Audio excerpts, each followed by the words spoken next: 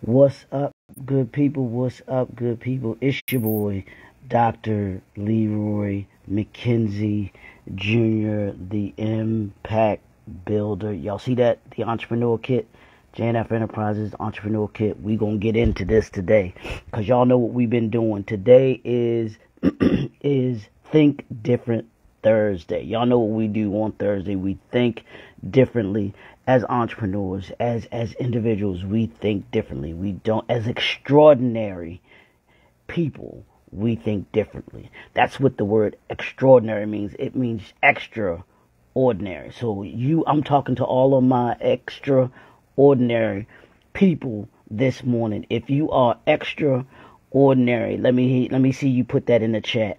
X hashtag extra ordinary. I want you to put that in the chat for me there.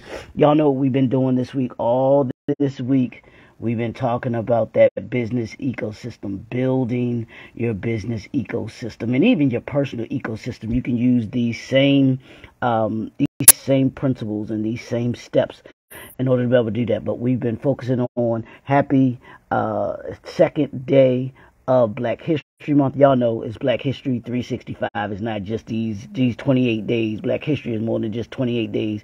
We can't fit out history into 28 days. So y'all know every single day is Black History because you are Black History. But what we've been dealing with, what we've been talking about this week, I've been talking about Black Black Wall Street, y'all. Black Wall Street. If you can see that, I'm gonna zoom in on it and then I'm gonna get back on me. Can y'all see that? 600 businesses total there were 21 churches, 21 restaurants, 30 grocery stores, 30 is that yeah, 30 grocery stores, two uh, movie theaters, six private airplanes, plus a hospital, plus a um, a, a, post office, plus a uh, a, a bank. Get a bank a hospital, post office, you had schools, a school system, you had a library, you had law offices, and and something that's not even um, mentioned on here, um, but there were also there was also a hotel too in the block Black Wall Street, which is the hotel that folks would stay at when they were in uh, in that Tulsa um, Black Wall Street area. But this week we've had the five steps, four, um, five steps to building your business ecosystem, Black Wall Street style, um, Black History Month. We talked about vision, we talked about creativity, we talked about patience yesterday. Today we're going to talk about planning. We're going to talk about planning. Y'all see this? Entre- this entrepreneur kit. This is what planning is all about. Building the 21st century company. Y'all gonna hear me say that all the time because that's one of my foundations is building the 21st century company. How do we go about building the 21st century company? And Black Wall Street gave us the black print for how we go about building our ecosystem. How do we go about building the 21st century company? Um, because they were able to do so much with so little. I'm going to say that again. They were able to do so much with so little. And I look at where we are today in, in technology and in, in education, and I look at all of the things that we've, we've made advances in and that we've we've been a vital part of those advances. And I see that we haven't done nearly as much as as Black Wall Street did. Can you imagine what Black Wall Street would be if they had access to the resources that we have today? I'm going to say that again. Can you imagine what Black Wall Street would have been if they had access to the resources that we have today. I'm gonna let that marinate for you. Let you marinate on that and think about it because it's it's vital to our thinking and to see, you know, just to see what you know where where we where we are versus where we've come from, and and the planning that it took for them to build 600 businesses, 21 churches, 21 restaurants, 30, uh, what was it, 30, um, I can't think of it now, but um, uh, those are the grocery stores. 30 grocery stores, two planes, a bus system, which was which is in essence a transportation system.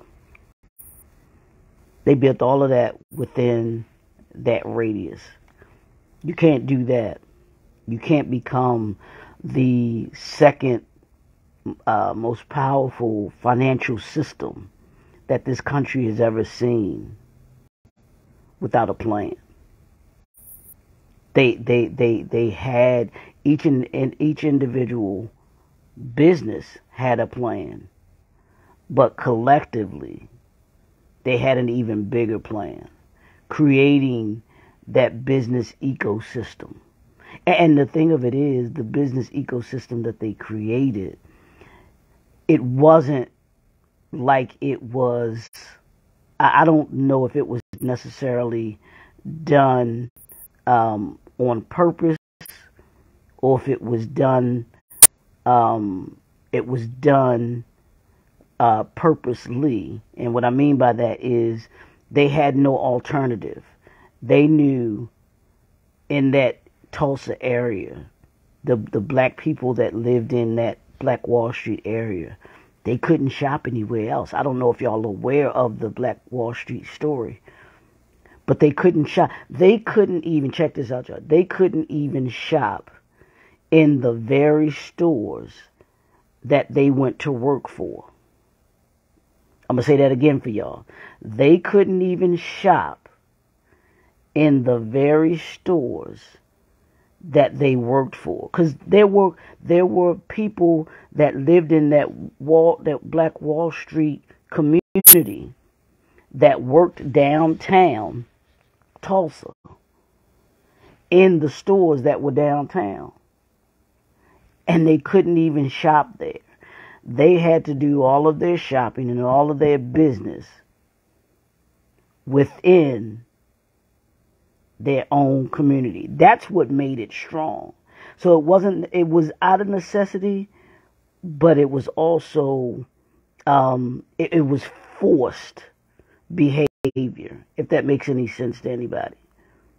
So we've got to understand that, that, that the, the business ecosystem that, that you're building, that we're building, it now, it, it's not where it has to be forced but I'm gonna take forced and and use this word for y'all.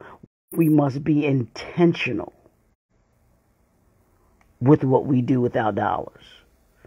Be intentional on this Think Different Thursday with your business dollars. Be intentional with your personal dollars. That that's in the planning that they did with Black Wall Street. They understood. Hey, if if if my business is going to flourish, I have to do business with Miss Johnson over here. I have to do business with with Mr. Leroy over here. I have to do uh, a business with um, you know the, the the business owner over here. I told y'all 600 businesses. That's it. When you look at when you look at the business landscape today, and and and I'll have to look it up because I didn't look it up today, but I'll have it tomorrow. 600 businesses versus how many businesses we have today, and counting, because there's there are black-owned businesses opening every day. Every single day, there's another black-owned business that's open. So what are we doing to to plan for those businesses to be around? Are you an aspiring entrepreneur? who is looking to have your business around for a while. Because I told you when I started my business, one of the things that I found was there was plenty of information out there on how to start a business. You can find books galore. You can find now you can find YouTube uh, uh, videos all day long. They'll they'll tell you and show you how to start that business. You can take all the classes you want on how to start a business, but what you aren't getting and what I saw was it was missing was how to keep the doors open. What I saw and what I continue to see today is the lack of planning. If you don't plan, if you if you plan, if you fail to plan, then you plan to fail. If you fail to plan, then you um, if you yeah if you fail to plan, then you plan to fail. Black Wall Street didn't fail. Why didn't they fail? Because they planned. They planned their businesses. They were intentional with their businesses. That that's how you build a, a strong business ecosystem. Be intentional about your relationships. Plan for your business to be successful. Put those systems and, and processes in place that will allow you to not just open your doors or start your business, but to grow your business. We we started off the end of last year going into this year saying, what does your 2023 look like? What are you planning for in 2023? We're already into the second month of 2023. This is the second month, which is the, the, the which is the second month of the first quarter of 2023. So what are we doing? Have you have, do you already have your plans for 2023? What did your what did your January of 2023 look like? Go back and look at what you planned. You said you wanted to do A, B, C, and D. Well, did you com- did you complete A, B, C, and D? And if you didn't, take a look at your plan. Take a look at what you your vision.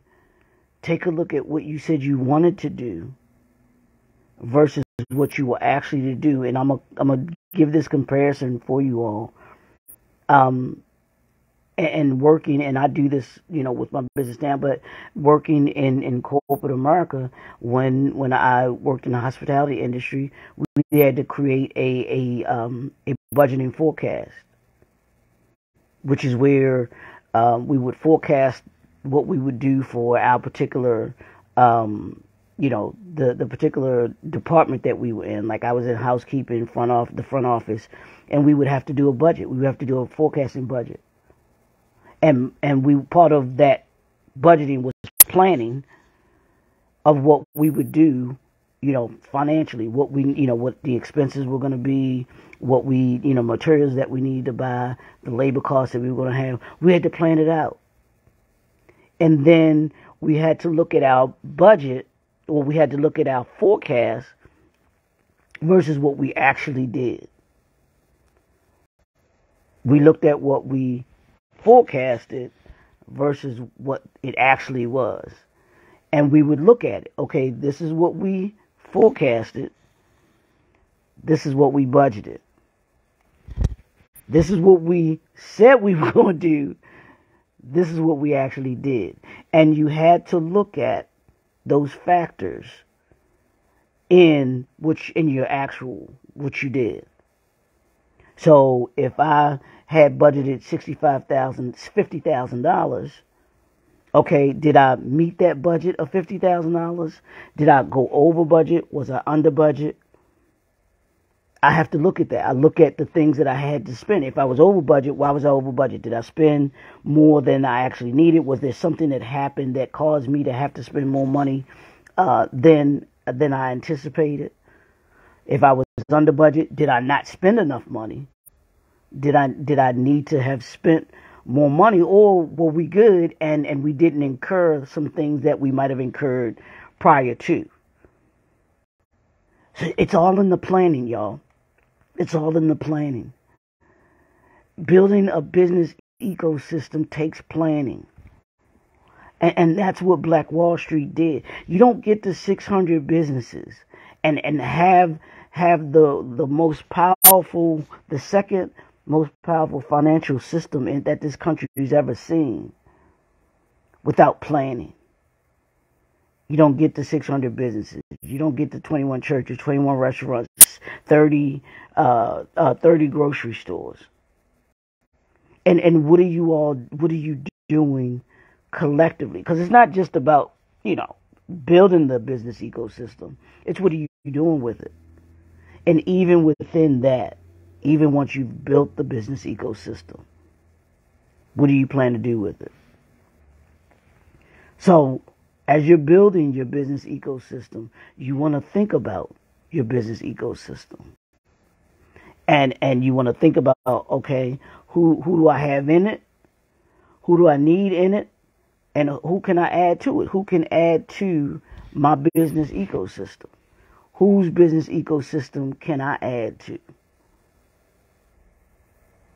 That's how you become the second most powerful financial system in, this country is by planning. So how are you planning today? How have you planned for this week? Do you sit down uh, on Saturday or Sunday and plan out your week? Do you sit down on Monday and plan out your week so that you're intentional about the things that you're doing, that you're intentional about building your business ecosystem?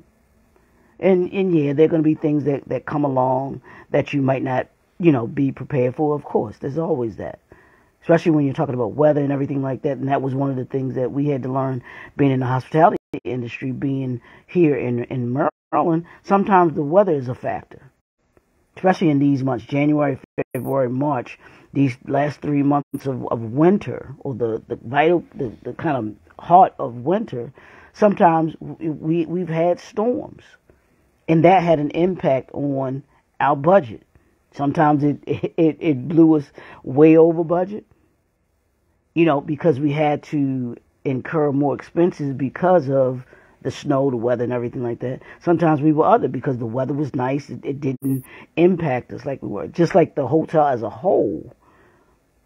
One of the things that I learned was in these seasons when you go through all these four seasons and you have these this, the winter season when you know when you get snow you get bad weather you get this bad bad weather and people people can't travel but people also who, who have traveled get stuck. So they're stuck in the hotel you know they they're stuck in the hotel and they have to stay there too which which improves your increases your occupancy rate, which also incre- increases your bottom line. So those are factors. So when you see those spikes, you got to ask yourself, well, what was the spike for? Even in the stock market, when when you see the stock market fluctuating, going up and going down, I always ask the question, well, what what's the what, what's the impact? What's going on that's causing the market to go up or to go down? And being able to understand how money works. Understanding how money works will go a long way in your planning. That's that's part of the, the business ecosystem is understanding money, understanding fin- the finance part of it. Yes, part of uh, building a business ecosystem is relationships, but it's also finance. It's also money, and understanding how money works. Coming together uh, in certain partnerships because it's going to take you, your business, your brand to the next level. It's also going to take someone else, their business, their brand to the next level. That that's how you do it. That's part of the planning. There's not one successful business that did not have a plan. Not one. I promise you and and and yes, there are some people that say, well, you know, you don't necessarily need a business plan in order to be able to be successful. Some people have have done that, but you have to have some sort of plan.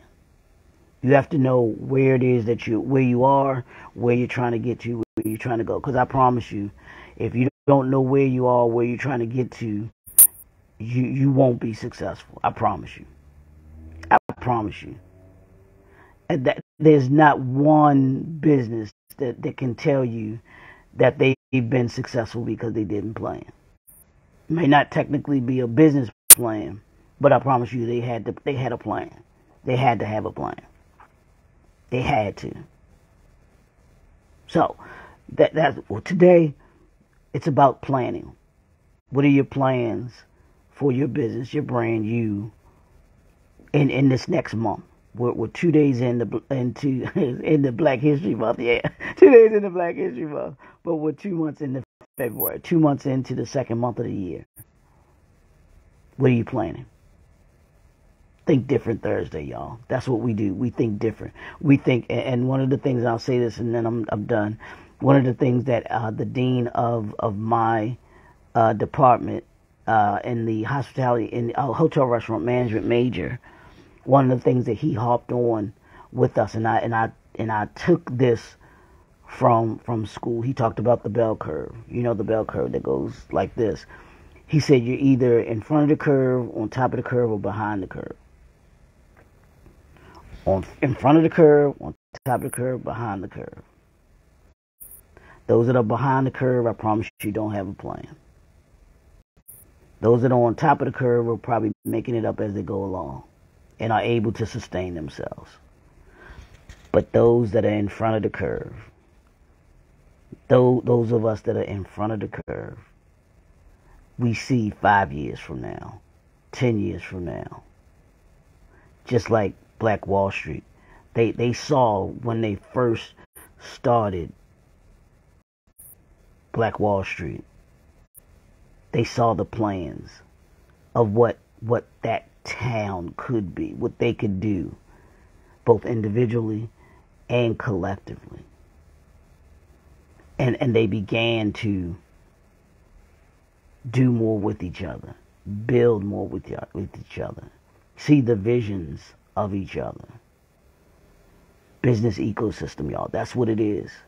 Business ecosystem is is, is vision, creativity, uh, it, it's patience, and it's planning. And tomorrow we're going to talk about resilience. Gotta have resilience because this thing gonna knock you down. It's gonna knock you down. And, and, I'm just, you know, this morning in my devotion and devotion time and and um, in my walking, man, uh, let me tell you, it, it's folks that are going through some stuff. 2023 coming in with haymakers, y'all.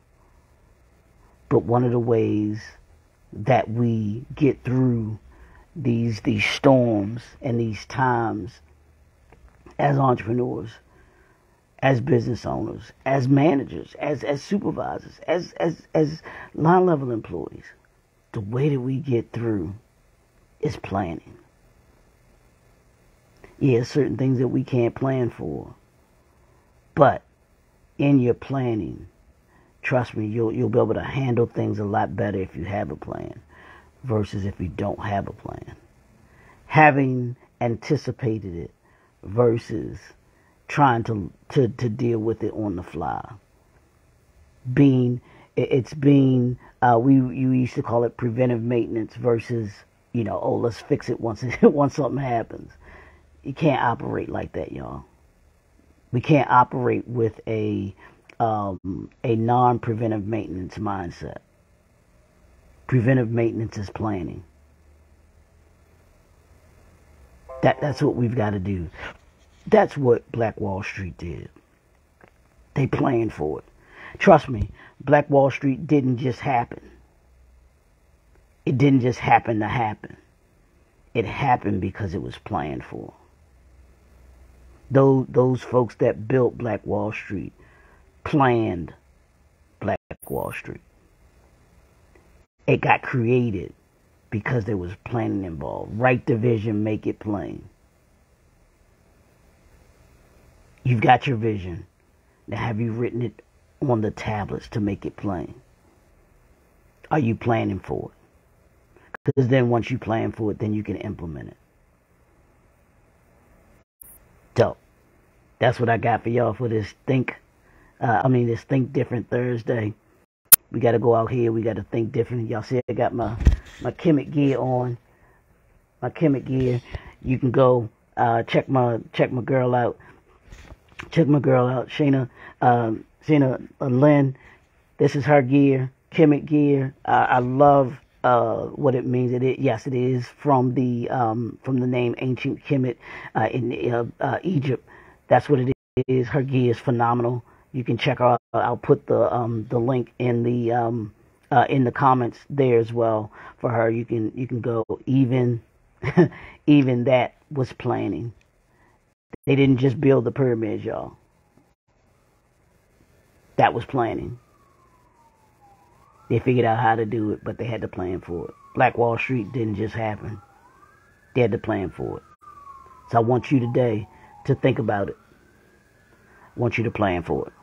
That's your word for today. Plan for it. Plan for it, plan for it, plan for it. We think different. We think different from everybody else, y'all. And that's what's going to make us successful. So go out, plan for it today. Make it happen this this uh, February 2nd, 2023. I'll talk to y'all tomorrow on the third day. The third day of Black History Month. Let's go. Black Wall Street. Let's make it happen.